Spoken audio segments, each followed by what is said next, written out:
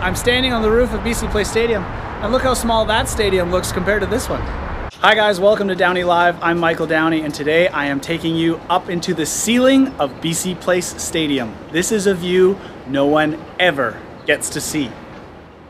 Brian, Michael, Brian, Michael Of course Brian. he is. I recognize him from YouTube. He's a star, man. Oh, thank you. So one, yeah, doubling up on the safety vests That's here as we go up to the catwalk. Yes, because this is Rob Robinson. He's our safety coordinator, and he's going to keep us safe throughout Hi the whole Rob, thing. nice to meet you. Welcome to YouTube.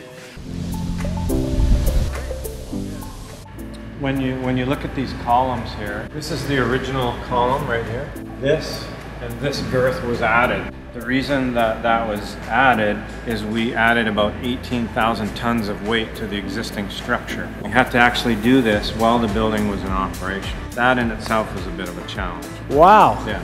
So you can you can really see the difference in these pillars right Yes. here.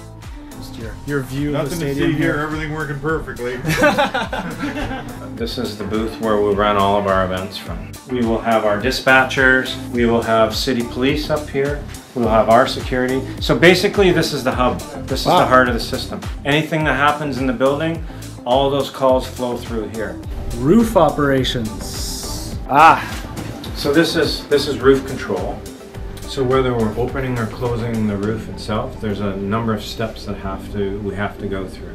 There's a number of people uh, in the building who have access through even through our cell phones. I'm not gonna lie, I was a little disappointed. I was hoping it would be just a giant lever, you know, open or close. Yeah, or a crank, exactly. So if you're not a fan of heights, probably a good time to switch this video off. That's right.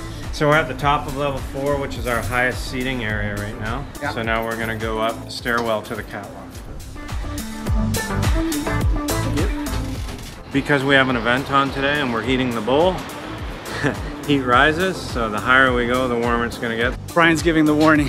Don't judge us if we're sweating on camera. So just, just a couple things while we're here. So the building's not a circle, it's not an oval. It's its own unique shape. So how do we do that? It's with these pre-tension cables. So Okay. if you look at these members that come out, as Yep. you go around the building, every single one of them is a different size. So the columns on the outside of the building, yeah. they each weigh in around 150 tons apiece. So you can imagine if the top of the column wants to go out, the bottom wants to kick in. Right. So this is what uh, stops that from happening. The columns on the outside of the building are on a set of slide bearings. They're designed to move, and that's for dynamic load, for snow load, wind load, those sorts of things. So from this fascia down Yeah. is one structure, from the fascia up is another structure. So the roof is designed to move uh, differently than the rest of the building. Wow. What, what you see here is these squares are what we call our ETFE. Every single section has an addressable LED light. So we can change the color of the building. We've had the Union Jack there when Paul McCartney was here. We've had the Canada flag there when the Canadian national teams are playing in here. So we can do those types of things just simply by changing the process in the computer. And then the last thing is right here, these are actually louvers. If the building gets too warm, we can open up these louvers and let some natural air flow, Oh, wow. flow through. You feel the temperature. Oh yeah, I feel the heat. We're right at the top here. I could I could almost touch the fabric. So now we're gonna go up the up the ramp to the catwalk. Now what I'll say is the, the catwalk itself is dynamic, so it's gonna feel like it's moving under your feet. Yeah. Because it is. Okay. It's kind of like a suspension bridge. As you can see, there's nothing underneath it. So it is gonna flex a little bit, but it's very safe. We're 200 feet above the field of play right now. That's the largest center hung scoreboard in North America. It's not the largest scoreboard, it's the largest center hung. Texas has the largest Texas scoreboard. has the largest. That board in itself is about 80 tons. So if you're looking up at the roof itself, you see two different colors of fabric. Okay, so the center portion Yeah. is the retractable portion. Okay. Okay, so it's made out of a fabric called Tanara. So if you took a piece of Tanara, Yeah. like a piece of paper, and you crumbled it, Yeah. it would look like a crumbled piece of paper. But if you leave it on the desk and you come back an hour later, it'll be flat.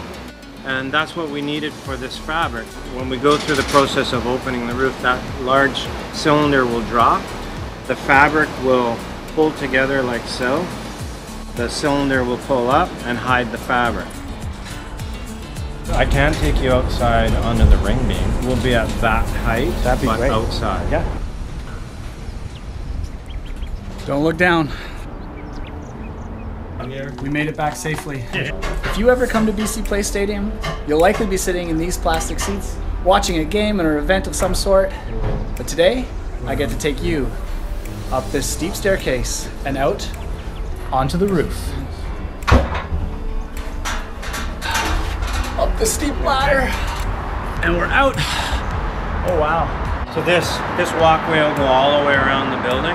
It's about eight, 1,800 tons of steel that made the uh, made up the web. How big these joints are. Exactly. We had materials coming from well in excess of 30 different countries. So trying to coordinate that. Some of these steel components came from as far away as Thailand and were shipped over here and then picked up on barges. And they were so large that we had to uh, shut down city streets to transport them to the building overnight. I don't know what else to say, but look at this. Look at the huge steel beams out here.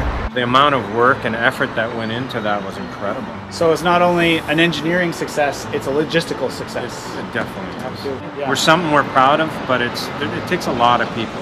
It's not just me. I got No. a, I got a huge team of people behind me. That's a view I'll never see again. Thank you so much, Brian. That was a fantastic tour. I really appreciate all the restricted access you guys gave me. Oh, my pleasure. It was a lot of fun, and you have a pretty fantastic job. Thank you. Well, Brian has to get back to work, so that's it for me. But he did an amazing job of taking me all over this building. I'm so happy I was able to show you outside on the roof as well as inside on the ceiling. And I don't know where we're going next, but I want you there with me. See you next time, guys.